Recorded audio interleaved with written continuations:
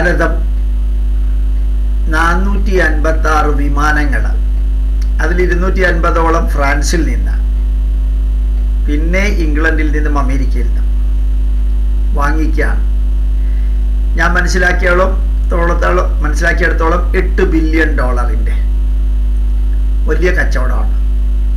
ഭാരതത്തോട് ഫ്രാൻസും ഇംഗ്ലണ്ടും അമേരിക്കയും നന്ദി പറഞ്ഞു. നമ്മൾ കഴിവുള്ളവരാണ്. ആകാശം നമ്മൾ കീഴടക്കി സമുദ്രം നമ്മൾ കീഴടക്കും കര നമ്മൾ കീഴടക്കി. ഇങ്ങോട്ട് ചൊറിയാൻ വരരുത്. അഭിമാനത്തോടു കൂടി ചന്ദ്രയാൻ നടത്തി മംഗളയാൻ നടത്തി. ലോകം ഇത് കാണുന്നു. സാധാരണ യൂറോപ്യന്മാർക്കും അമേരിക്കക്കാർക്കും മാത്രം കിട്ടുന്ന കോൺട്രാക്റ്റ് ആണ് ഇപ്രാവശ്യം ബഹറിൻ ഇന്ത്യയ്ക്ക് തന്നിരിക്കുന്നത്. ഡൽഹി മെട്രോയ്ക്ക് ആണ് തന്നിരിക്കുന്നത്. രണ്ട് ബില്യൺ ഡോളറിന്റെ ബഹ്റിൻ മെട്രോ പ്രോജക്റ്റ് ഇന്ത്യക്കാണ് തന്നിരിക്കുന്നത്. മറ്റുള്ളവരുടെ കൊട്ടേഷനേക്കാളൊക്കെ വലിയ വളരെ വില കുറവാണ് ഇവിടെ. കാരണം ഇവിടുത്തെ സാലറി സ്ട്രക്ചർ ഡോളറിൽ നിന്ന് രൂപയിലേക്ക് മാറ്റുമ്പോൾ വളരെ കുറവുണ്ട്. നല്ല കഴിവുണ്ട്. Vande Bharat express ideal model ട്രെയിനാണെന്ന് Saudi Arabia അംഗീകരിച്ച് സർട്ടിഫിക്കറ്റ് ചെയ്തിട്ട് അവർക്ക് വേണമെന്ന് പറഞ്ഞു കഴിഞ്ഞു. അപ്പം സൗദി അറേബ്യയിൽ വന്ദേ ഭാരത് എക്സ്പ്രസ് വരും. ഡൽഹി മെട്രോയിലൂടെ ബഹ്റിനിൽ മെട്രോ റെയിൽവേ വരും. രണ്ട് ബില്യൺ ഡോളർ ഭാരതം ഉയരുമ്പോൾ വളരുമ്പോൾ ഉണരുമ്പോൾ ഭാരതത്തെ അംഗീകരിക്കാനും ഭാരതവുമായി സഹകരിക്കാനും ഭാരതത്തിൽ വിശ്വാസം പുലർത്താനും സാധിക്കും. ഇന്നലെ ജർമ്മനിയിലെ ഭരണാധികാരി അസന്നിഗ്ധമായിട്ട് ഒരു വരി പറഞ്ഞിട്ടുണ്ട്. We trust Mister Modi we trust India ഇന്നലെ പറഞ്ഞതാണ് മൂന്ന് നാല് ദിവസം മുമ്പ് ഇന്ത്യക്കാർ ഇന്ത്യക്കാരുടെ കാര്യം നോക്കിക്കോട്ടെ എന്നൊക്കെ ജർമ്മനി പറഞ്ഞു. ഇന്നലെ ജർമ്മനി പറഞ്ഞതാണ് ജർമ്മനിലെ ഭരണാധികാരി പറഞ്ഞതാണ് we trust Modi and we trust India മതിയല്ലോ ജർമ്മനിയുടെ വാക്കുകളാണ്. അത് പറഞ്ഞ് ജർമ്മനി പ്രവർത്തിച്ചത് Bahrain. We trust India we trust Delhi metro. അത് ഗംഭീരായി. അഫ്ഗാനിസ്ഥാനിലെ തീവ്രവാദികളുടെ ഊർജം മുഴുവനും ശരിയാക്കാൻ. ചില സ്കൂളിലെ കുട്ടികൾക്ക് ഭയങ്കര ഊർജം ഉണ്ടെങ്കിൽ അവർക്ക് ക്രിക്കറ്റ് കളിക്കാനും ഫുട്ബോൾ കളിക്കാനും കബഡി കളിക്കാനും ഒക്കെ വേണ്ടിയിട്ടുള്ള സൗകര്യങ്ങൾ ഉണ്ടാക്കി കൊടുക്കും. ആ എനർജി റിലീസ് ചെയ്യണ്ടേ? കുട്ടികൾക്ക് സ്പോർട്സ് കൊടുക്കുന്നത് അവരുടെ തിങ്ങി നിറഞ്ഞ എനർജിയൊക്കെ ക്ലാസ് റൂമിൽ ഒതുക്കി നിർത്താൻ ചിലപ്പോൾ പറ്റില്ല. നല്ല രീതിയിലുള്ള സ്പോർട്സ് വേണം. അതുപോലെ താലിബാനിലെ തീവ്രവാദികൾ കൊല്ലാനും ചാവാനും പണ്ടാറോടങ്ങാനും വേണ്ടി മാത്രം ജനിച്ചിരിക്കുന്ന ഒരു വിഭാഗമാണ് ആ തീവ്രവാദത്തെ കറക്റ്റായിട്ട് സിന്ധു നദിയിലെ വെള്ളം പാകിസ്ഥാനിൽ നിന്ന് ഇന്ത്യയിലേക്കും അഫ്ഗാനിസ്ഥാനിലെ തീവ്രവാദികളെ പാകിസ്ഥാനിലേക്കും വിട്ടു. ഇപ്പൊ അഫ്ഗാനിസ്ഥാനും പാകിസ്ഥാനും തമ്മിലുള്ള അതിർത്തി തർക്കമാണ്. പട്ടാളക്കാരെയൊക്കെ കൊന്നു മുടിപ്പിക്കുകയാണ്. ആ തീവ്രവാദം അവനവന്റെ മതത്തിലുള്ളവന്റെ നെഞ്ചത്തേക്ക് തന്നെ കൃത്യമായിട്ട് കൊടുത്തു.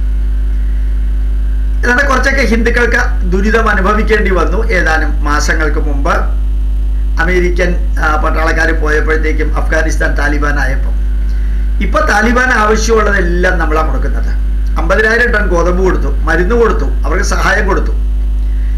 അവരുടെ പട്ടാളക്കാരെ നമ്മൾ ട്രെയിനിങ് കൊടുത്തു. നല്ല ഗംഭീരമായിട്ട് അവർക്കത് മനസ്സിലായി. വിശ്വസിക്കാൻ സാധിക്കുന്ന ഒരേ ഒരു രാജ്യം ഇന്ത്യയാണെന്ന്. മറ്റുള്ളവരെ ചൂഷണം ചെയ്യാനും തട്ടിപ്പറിക്കാനും കൊളയടിക്കാനും വരികയാണ് മതക്കച്ചവടത്തിനും വരികയാണ്. ഇന്ത്യ അങ്ങനെ വരില്ല എന്ന് അവർക്ക് മനസ്സിലായി. കലക്കി മൂന്ന് ട്രില്യൺ ഡോളറിന്റെ ഇൻവെസ്റ്റ്മെന്റ് അഫ്ഗാനിസ്ഥാനിൽ നടത്താനുള്ള സാധ്യതയുണ്ട് എന്ന് അഫ്ഗാനിസ്ഥാൻ ഭാരതത്തെ അറിയിച്ചിരിക്കുന്നു.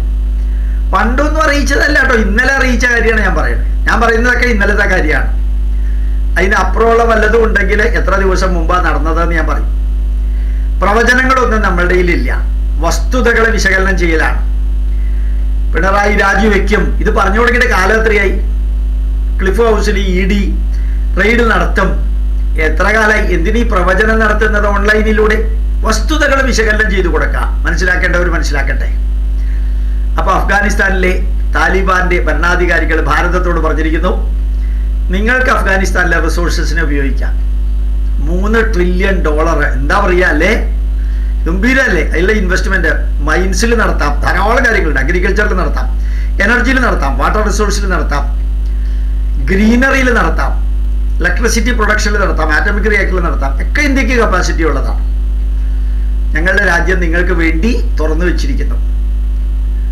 ഏതായാലും അഫ്ഗാനിസ്ഥാനിലുള്ള ഭാരതീയരെ ചങ്കൂറ്റത്തോടുകൂടി തിരിച്ച് ഇന്ത്യയിലേക്ക് കൊണ്ടുവരാൻ സാധിച്ച അതേ ലെവലിൽ ഇന്ന് ഇന്ത്യയെ അഫ്ഗാനിസ്ഥാന് താലിബാന് വേണം. നമ്മൾ താലിബാനിലെ തീവ്രവാദികൾക്ക് പൈസ കൊടുത്ത് ഇന്ത്യയെ മുടിപ്പിച്ചവര് റാവൽപിണ്ടിയിലാണെങ്കിലും കറാച്ചിയിലാണെങ്കിലും കാബൂളിലാണെങ്കിലും ലോകത്തിൽ എവിടെയാണെങ്കിലും അവനെ മൊസാദ് നമ്മുടെ ഇസ്രായേൽ ചാരസംഘടന തീർക്കുന്ന മാതിരി താലിബാനിലെ ജീവിക്കാനും ചാവാനും ഭയമില്ലാത്ത കൊല്ലാനും ചാവാനും പഠിപ്പിച്ച ആ ഉസ്താദുമാരുടെ കീഴിൽ വർക്ക് ചെയ്യുന്ന തീവ്രവാദികളെ കൊണ്ട് ഇന്ത്യക്കെതിരെ പ്രവർത്തിക്കുന്ന തീവ്രവാദികളെ കൃഷ്ണരാമ ഗോവിന്ദാക്കാൻ ഒരു വിഷമമില്ല അങ്ങനെ ഭാരതം മുന്നേറുന്നു. വിക്രമാദിത്യനെ പോലെ. ചാണക്യനെ പോലെയുള്ള ഐ എ എസുകാരും ഐ എഫ് എസുകാരും ഐ പി എസുകാരും ഭാരതത്തിൽ നിറഞ്ഞു തുളുമ്പുമ്പോൾ കപ്പാസിറ്റിയുള്ള ജനപ്രതിനിധികളും ചെയ്യേണ്ടതെല്ലാം ചെയ്യുന്നു.